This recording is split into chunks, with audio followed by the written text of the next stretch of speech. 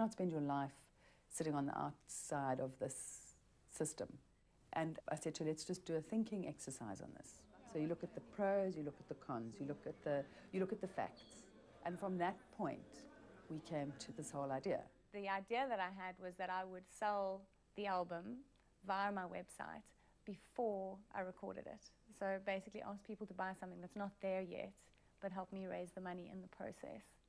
Setting up a website is in fact the easy part. It's what you do afterwards that makes all the difference. The question is, how do you get as many people as often as possible to visit your website?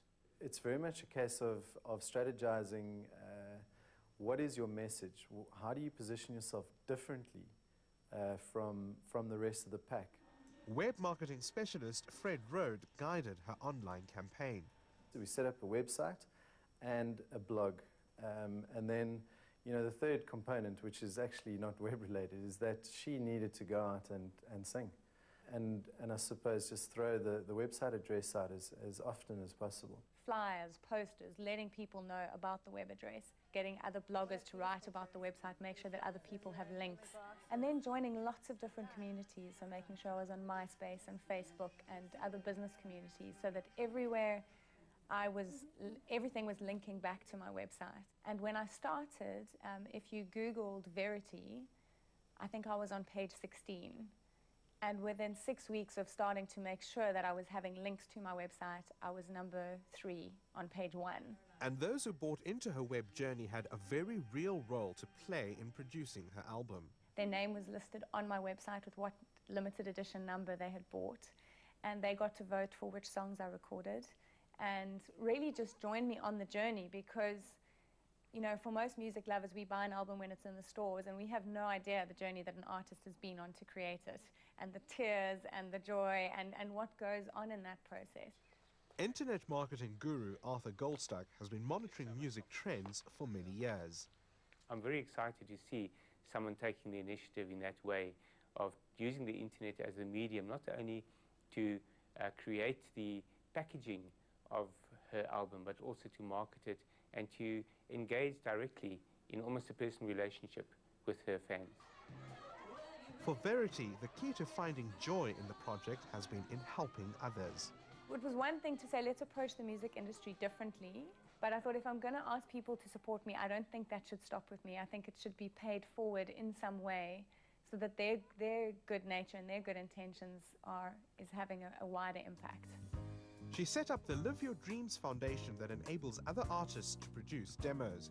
But while helping others, Verity faced some tough months without sales.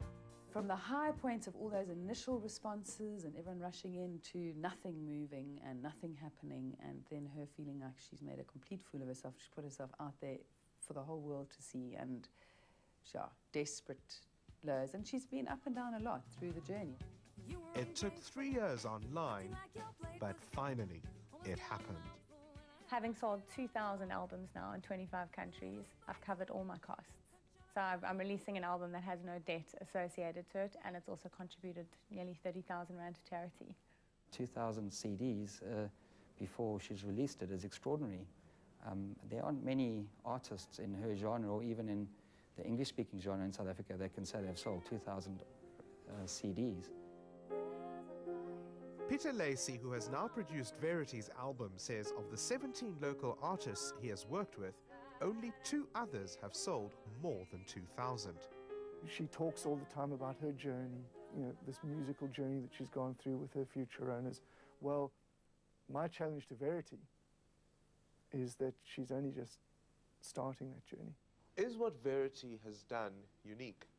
Verity isn't unique in what she's done. She's certainly a first in South Africa, but what sets Verity apart is the extent to which she engages with her site, with her audience, and the extent to which she drives the process herself. Is this the way to go in terms of marketing music? In South Africa, CD sales have held up quite well because we don't have a download environment. But artists that want to plug into the future that's beginning to arrive are going to have to embrace the internet.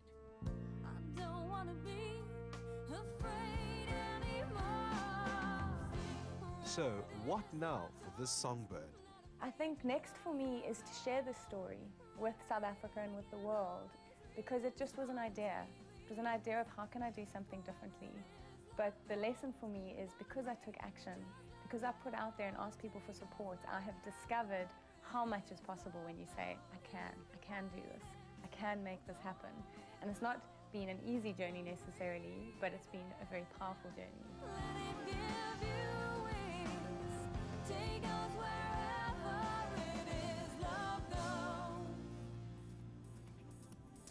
And that is determination. Uh, talking of which, what a history making performance by the Bokke at the House of Pain. I mean, that try of Ricky Januarie's will be one of those sporting moments remembered in years to come.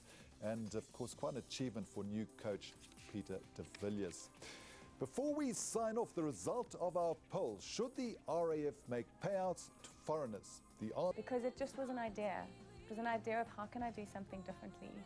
But the lesson for me is because I took action, because I put out there and asked people for support, I have discovered how much is possible when you say, I can, I can do this, I can make this happen.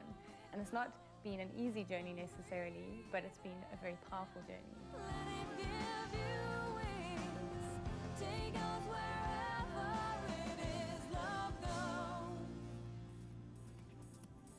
And that is determination. Uh, talking of which, what a history making performance by the Bokke at the House of Pain. I mean, that try of Ricky Januarie's will be one of those sporting moments remembered in years to come.